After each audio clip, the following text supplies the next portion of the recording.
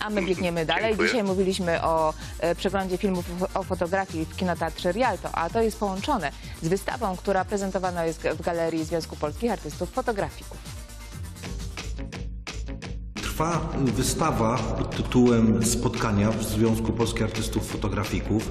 To jest wystawa, której kuratorem jest Adam Sobota, a ta wystawa jest y, pewnego rodzaju zwieńczeniem 40-lecia Galerii Katowice. Dlaczego spotkania? Ten tytuł w zamyśle kuratora miał być spotkaniem y, twórców naszego okręgu z fotografią i z, y, z galerią, w której możemy prezentować pracę.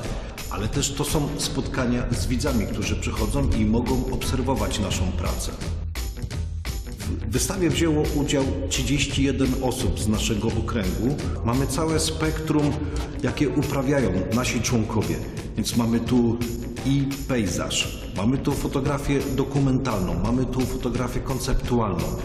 Znajdziemy wszystko. Zapraszam do zwiedzania wystawy spotkania, która jest wystawą jubileuszową Galerii Katowice z okazji 40-lecia.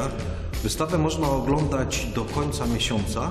Niemniej jednak 26 września o 18.30 zapraszamy na oficjalny finisaż.